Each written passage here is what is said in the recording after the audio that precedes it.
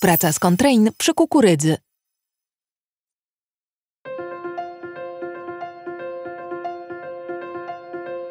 Dziś zapraszamy do odwiedzenia naszego pracownika w firmie produkującej kukurydzę w Holandii i przyjrzenia się jego codziennym obowiązkom.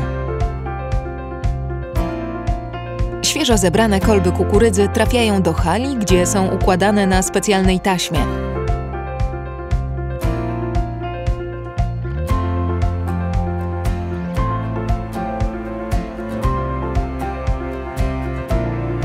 Następnie maszyna przycina kukurydzę z obydwu stron.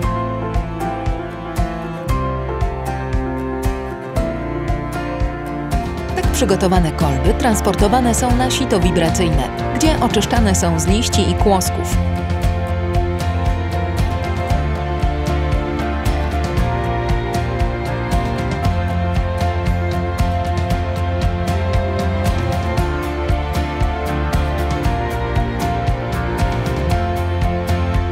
Oczyszczona kukurydza umieszczana jest na tacki, następnie foliowana, pakowana do skrzynek i etykietowana.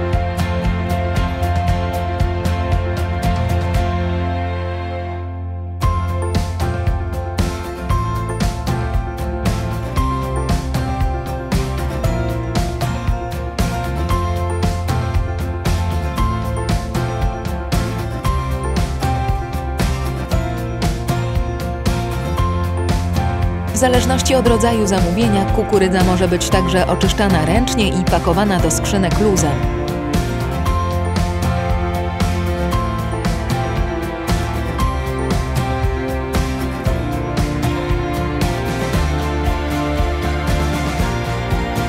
Przy niektórych zamówieniach kukurydza nie jest oczyszczana, tylko segregowana i pakowana.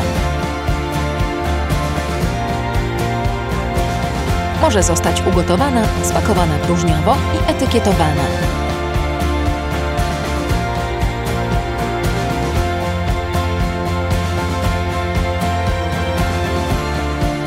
Następnie pracownicy przygotowują ją do transportu.